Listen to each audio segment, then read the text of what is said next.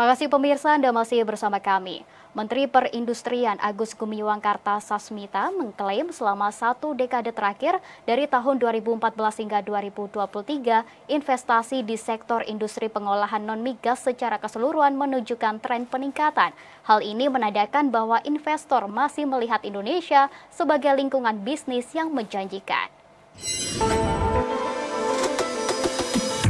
Indonesia masih menjadi negara tujuan utama bagi para investor skala global untuk perluasan usaha di sektor industri. Hal ini ditandai melalui industri pengolahan non-migas masih menjadi sektor unggulan dalam memberikan kontribusi terhadap capaian kinerja ekspor nasional.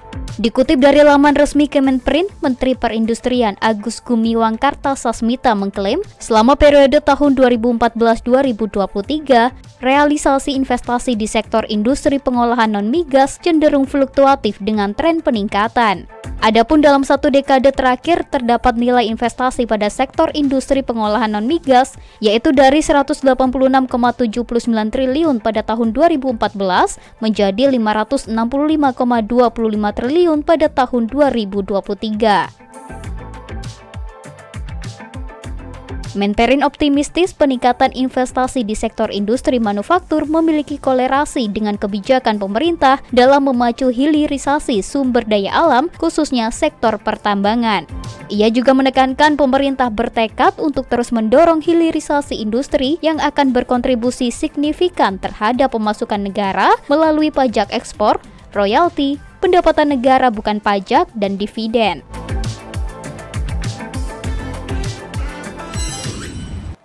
Pemirsa aplikasi Sirekap tengah menjadi pembicaraan hangat di masyarakat.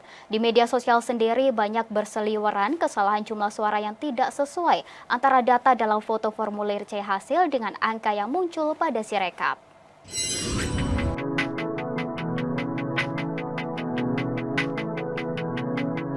Aplikasi Sirekap menjadi topik hangat yang dibicarakan warganet. Sirekap merupakan kepanjangan dari Sistem Informasi Rekapitulasi. Menurut keterangan di toko aplikasi Google Play Store, aplikasi Sirekap berfungsi untuk mendokumentasikan formulir hasil penghitungan suara di TPS dan mengirimkannya ke jenjang selanjutnya. Sistem informasi ini telah dirintis sejak Pilkada 2020 dan digunakan untuk pemilu tahun ini. Keberadaan Sirekap merupakan pengganti dari Sistem Informasi Penghitungan atau Situng yang terakhir dipergunakan pada pemilu Pemilu 2019. Sirekap dilengkapi dengan teknologi Optical Mark Recognition dan Optical Character Recognition, sehingga pola dan tulisan tangan yang tertera pada formulir C1 plano di TPS ketika difoto dan diunggah ke Sirekap langsung dikenali dan dapat diubah menjadi data numerik untuk dikirim ke server. Namun dalam pelaksananya penghitungan melalui Sirekap Pemilu 2024 yang dirilis KPU mengundang kontroversi. Pasalnya, angka perolehan suara yang terbaca di sistem berbeda dengan angka perolehan perolehan yang tertera di foto. Jika ditilik lebih lanjut, isu utama Sirekap adalah pembacaan teknologi OCR atau Optical Character Recognition yang kurang akurat. Pada dasarnya teknologi OCR berfungsi mengkonversi karakter baik berupa huruf atau angka yang ada di dokumen untuk diubah menjadi digital. Akan tetapi diperlukan kualitas dokumen yang baik untuk OCR dapat berfungsi maksimal. Kesalahan mengenai karakter dapat terjadi apabila kondisi dokumen jauh dari ideal. Contohnya, software OCR akan kesulitan mengenali karakter di dokumen yang penuh bercak atau tulisan tangan yang kurang jelas.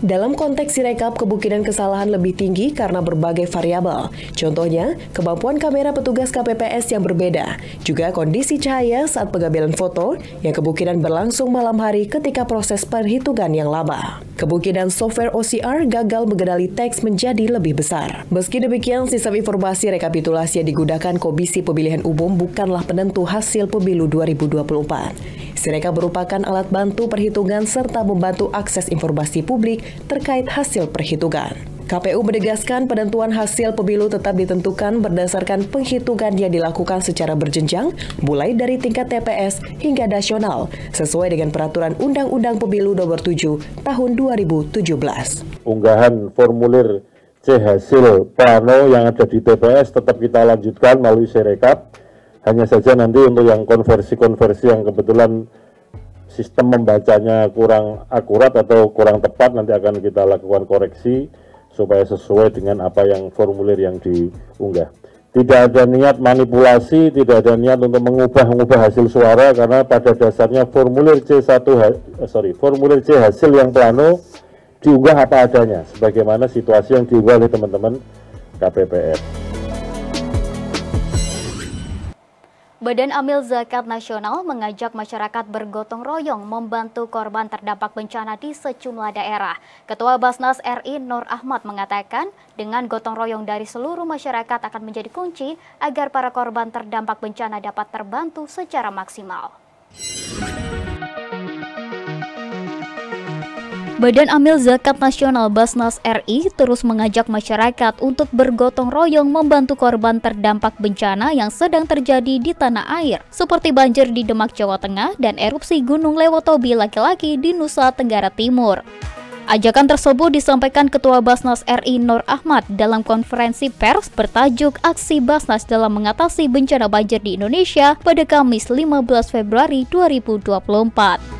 Nur Ahmad menyampaikan pihaknya selalu berusaha hadir di setiap wilayah yang terjadi bencana di tanah air, mengingat Basnas memiliki kebutuhan Basnas Tanggap Bencana BTB untuk membantu korban bencana sangat besar seperti rumah sakit mini dan truk makanan.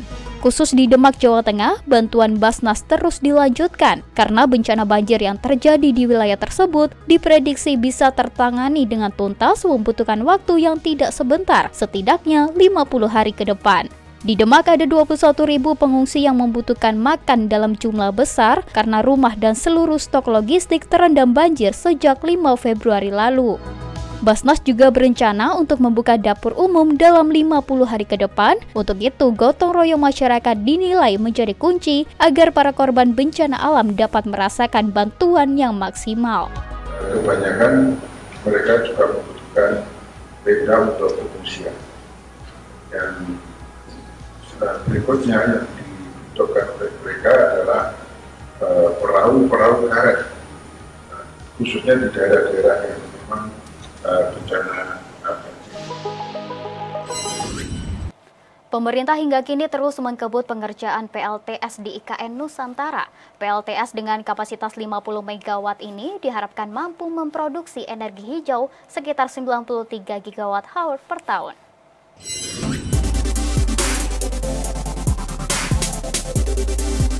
Untuk mewujudkan kota hutan cerdas yang berkelanjutan, hijau dan ramah lingkungan, pemerintah kini sedang melakukan pembangunan pembangkit listrik tenaga surya di ibu kota negara Nusantara dengan kapasitas 50 MW.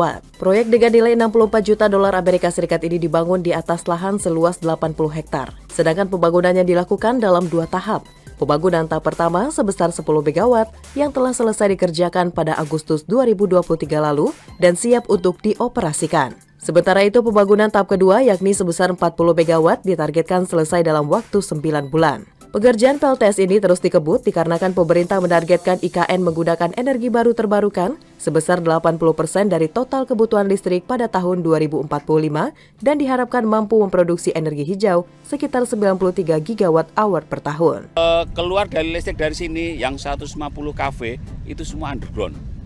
Semua underground sampai ke OIKN-nya ke pusat kota, semua underground. Kalau nanti dilihat ada eh, tiang-tiang itu sementara sebenarnya.